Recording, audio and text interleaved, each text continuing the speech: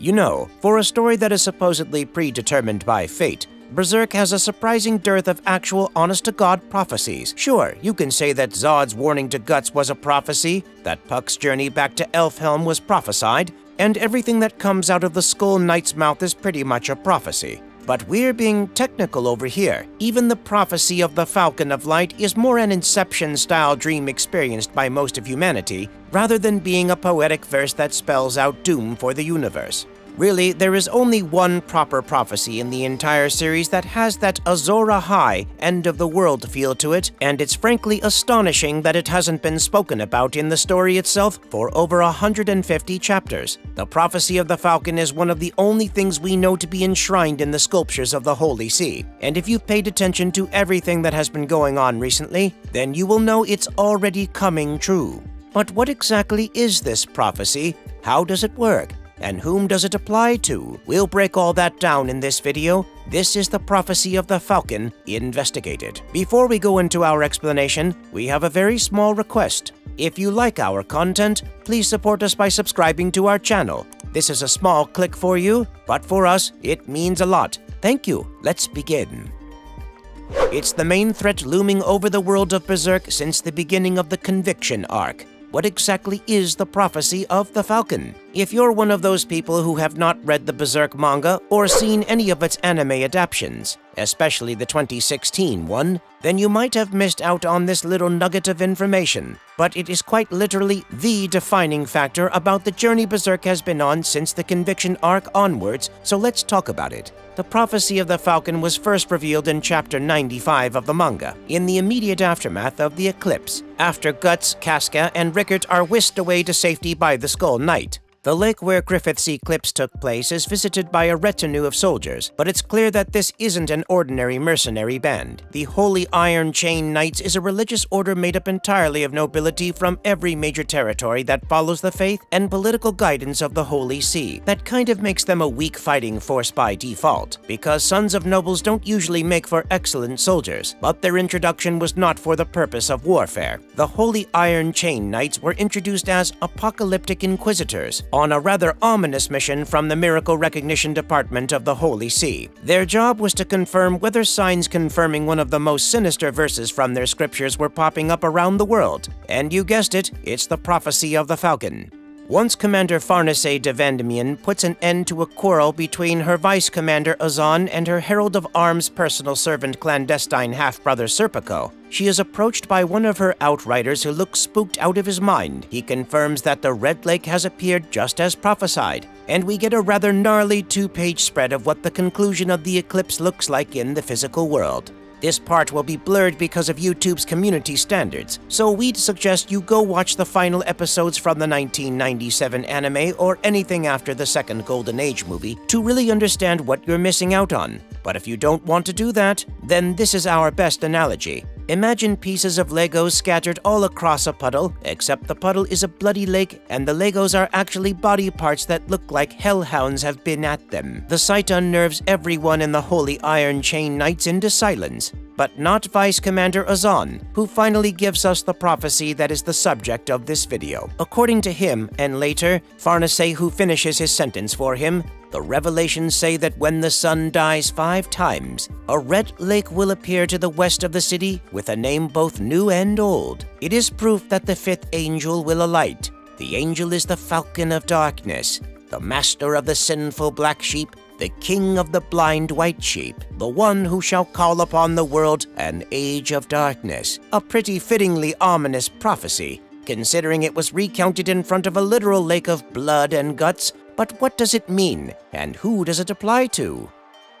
It predicts everything, from Griffith's incarnation to the advent of Fantasia, explaining the prophecy of the Falcon and who it really applies to. Well, the first half of the prophecy is immediately clear because of the contextual surroundings and the fact that Chapter 95's cover page has a giant black sun on it, with the faces of the damned swirling inside of it. When the sun dies five times, a red lake will appear to the west of the city with a name both new and old. Griffith's eclipse was the fifth eclipse overall, because his rise as Femto rounded out the god hand quite literally. The Red Lake was the site of Griffith's eclipse, which is at the western border of the Kingdom of Midland, the city with a name both old and new.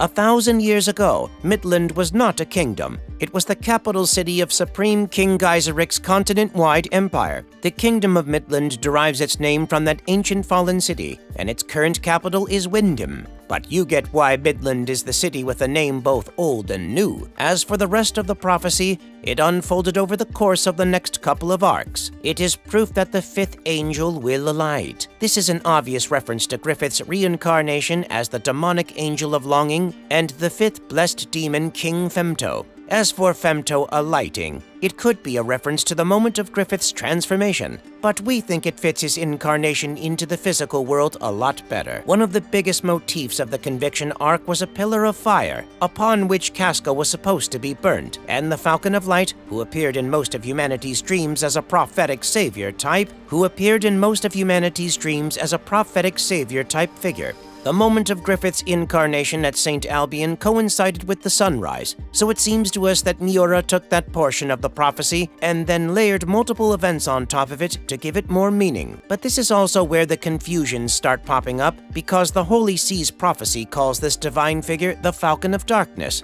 but the dream about the Falcon of Light is clearly meant to herald Griffith's return. In chapter 127, when the King of Midland dreams of the Falcon of Light upon his deathbed, he sees Griffith's vague silhouette shielding Charlotte from him as he metaphorically freezes to death upon his throne. Ever since his incarnation, Griffith has been instinctively revered as the savior by not just every human he comes into close proximity with, but to apostles as well, he is the master of the sinful black sheep and the blind white sheep. This is a very clear reference to the fact that Griffith ends up becoming the de facto leader of human and apostle kind following his incarnation into the physical world. As a God Hand member with a body of flesh, his natural existence itself was like a beacon of fire for his apostle servants. They were drawn to his flame instinctively. As for the humans, Griffith's life force was now so strong and malignant that it was perceived by Schierke and Farnese as being a maelstrom. We suspect that it is this magnetic ode of his that allows him to present himself as a transcendental being to the humans in his reborn band of the Falcon, because on more than one occasion we see various humans feel an instinctive sense of salvation and devotion as soon as they got close to Griffith and end up offering their services to him willingly as a consequence consequence. And did we say reborn band of the Falcon? That's right, the wily bastard remade his old band, the same one he sacrificed to gain power in the first place, but added insult to their memories by making apostles a part of it as well. Griffith's war demons double as his vanguard, much like his raiders did back in his human days, and apostle commanders like Grunbeld, Locus, and Zod are clearly meant to be replacements for their previous human counterparts like Pippin, Judeau, Corkus, and the rest.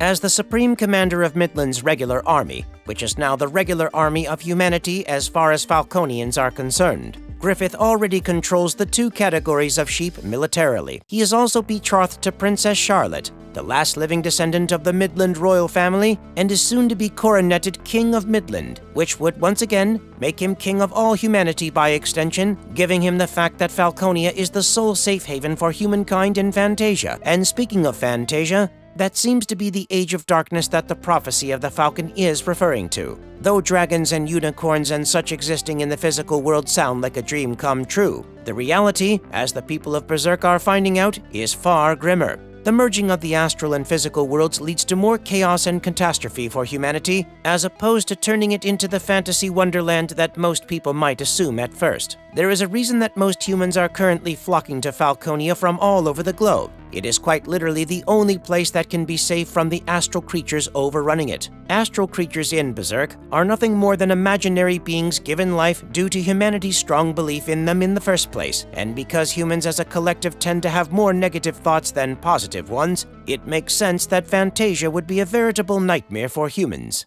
Imagine trying to fight off hordes of trolls not on a daily, but on an hourly basis. Enoch villagers would abandon everything and get aboard Roderick's seahorse in a heartbeat if you told them that. The astral world is not an inherently malign place, but it holds a lot of Malak within it, and when Griffith broke the seals holding back the world spiral tree from penetrating the physical world, he let all that malice loose into the world as well. This is why the Revelations quite fittingly refer to everything following the advent of Fantasia as the Age of Darkness, because that's exactly what it is, no matter how brightly the wing crystals outside Falconia might shine. The interpretation of the prophecy in conjunction with the developments that take place throughout the series point towards an indisputable fact. Griffith is the Falcon of Darkness. Heck, Void even calls Griffith Wings of Darkness Femto upon his reincarnation. But then why exactly do Farnese and the Holy Iron Chain Knights think that the Falcon of Darkness is Guts? For the two years that Guts was hunting down apostles, the Holy Iron Chain Knights were hunting him, because they realized that wherever he was seen, he would leave a mound of corpses in his wake. They of course didn't know that those bodies probably are the collateral damage that occurred during Guts' fights with apostles, or the apostles themselves. For two years the Holy Iron Chain Knights chased the Black Swordsman, thinking he was the Falcon of Darkness, when really, they should have been trying to kill the egg of the perfect world instead. If they'd known about apostles and casualty and such, they could have figured out the purpose of the incarnation ceremony and dispatched more forces than just Mozgus and Farnese's men under the pretext of an inquisition. But alas, they don't know anything about anything because they aren't true believers. In fact, despite being staunchly anti-magic, the Holy See's officials don't even seem to realize that their scripture itself was probably written by an oracle of some kind, because not only does it talk about Femto's birth and the Age of Darkness, it also records the four elemental kings of the world as being its four cardinal angels. Just knowing that magic was involved in the creation of their religion and accepting it for what it was could have probably helped the Holy See influence the prophecy of the Falcon, as opposed to merely confirming it. And then there is the fact that nearly all of humanity now associates Griffith with the exact opposite kind of figure the Holy See's scriptures say he actually is, because he is currently chilling with the pontiff himself in the Falcon's castle, enjoying evening tea with the high clergyman as the prophesied Falcon of Light. Every Falconian in Griffith's capital firmly believes that he is their savior, and that being a part of his story was like being a part of a legend in itself. At a time when their lives were being ravaged by war, plague, famine, or worse, the dream of the Falcon of Light was what gave them hope for salvation and that salvation was realized when Griffith gave them Falconia. Even the pontiff of the Holy See, who you'd think would know about the prophecy of the falcon as the highest ranking clergyman, performs prostration in Griffith's presence because he too dreamt of the Falcon of Light. But what does that mean that Griffith is both the Falcon of Light and Darkness, the Savior and the Destroyer, a bringer of peace and calamity? Well, not quite. Let us take you back to the incarnation ceremony and bring you to the exact moment where Griffith's incarnation was triggered. Do you guys remember what Puck said that the souls of the living and dead were crying out for in harmony? No, not salvation, even though that is a close second. It was God. It is the unimaginable despair brought about by the blood flow of the dead. Everything living or dead in the vicinity of St. Albion called out to God for deliverance, and then Griffith was reborn.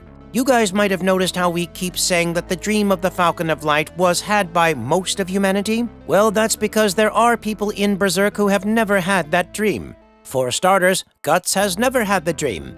Even when Skull Knight brings it up to him, he thinks of the pillar of flame his demon child had warned him about, and not the majestic white falcon Miura draws to signify the Falcon of Light. Also, Farnese has not had the dream of the Falcon of Light, despite having been a member of the Holy Iron Chain Knights and a fervent adherent of the Holy See at the time it was being spread through humanity's subconsciousness. If we take the two instances we've mentioned now and put them together, a simple line of reasoning emerges. Griffith used humanity's inherent need for God and his own inherent power as a God hand to manipulate them into accepting his dream. Griffith is the Falcon of Darkness. There is no doubt about that. Everything he has done lines up perfectly with the prophecy of the Falcon, and we're honestly quite surprised he's been able to use the Holy See the way that he has been doing since Falconia became a thing because their scripture is where the prophecy comes from in the first place. The Falcon of Light is a distraction to keep humans pacified in our opinion, in Berserk, thoughts, ideals, and ideas have great spiritual significance. Griffith's existence as a god hand is nothing more than an extension of the will of the idea of evil, which is the closest thing to a supreme deity we are likely to get from Berserk. Because Griffith basically exists as an extension of God's will, he is able to use that ideal that humans have in their minds about God and his everlasting mercy and twist it to portray himself as the Falcon of Light. And so the Falcon of Light becomes nothing more than an image that Griffith needs to project in order to finally achieve his dreams using the most optimal path available to him. He could spend years fighting the traditional way, lose thousands of soldiers, and probably his own life, and he would never see his dream fulfilled. But if he just changed the world itself and made it enter a state where he would inadvertently be absolute, well, that's checkmate for him without him having to even lift a finger, metaphorically speaking, of course. Griffith's unyielding ambition that drew readers to him at the beginning of the Golden Age arc culminated in the great roar of the astral world. If what followed since that day is not an age of darkness to your mind, even after everything we've said, then you need a new dictionary, my friend, because it should be plain as day to anyone watching with an open mind that Griffith is in fact the one and only prophesied Falcon of Darkness, and there is no Falcon of Light. Marvelous verdict, but as for this video, that's going to have to be it. The prophecy of the Falcon is one of the most interesting aspects of Berserk because of the very reason that most people seem to have forgotten about it just when it became relevant. The final stop that Griffith makes before his climactic showdown with Ganishka in his Shiva form is at the holy city of Vritannis. Vritannis is the epicenter of the Holy See influence and also where Farnese used to live. It probably has the Holy See's HQ in it as well, as Griffith actually speaks with a lot of the city's clergymen and nobility before the pontiff shows up to give him his valid pass. The Vandimion estate had been attacked by Ganishka's Pishacha and the Emperor himself in his mist form the night before. Everyone saw the demonic magic the Dread Emperor employed in his battle with the Black Swordsman party. A keener, more devout mind would have instantly connected Griffith's arrival with the prophecy of the Falcon, but alas, in that moment, politics and power prevailed. Federico de Vandimion was more concerned with preserving his position within the Holy See than verifying the legitimacy of Griffith's claim of being the leader of Midland's sole regular army, as were the nobles and clergymen gathered around him. In the moment before the fulfillment of perhaps their most relevant piece of scripture, the adherents of the Holy See turned a blind eye to the Black Wings grabbing them, and the price for that will most likely be paid for with the blood and souls of Falconians in the future. And if you liked our content, don't forget to leave a like and subscribe to us if you haven't already. Have a good one, and be safe. Thanks, everyone.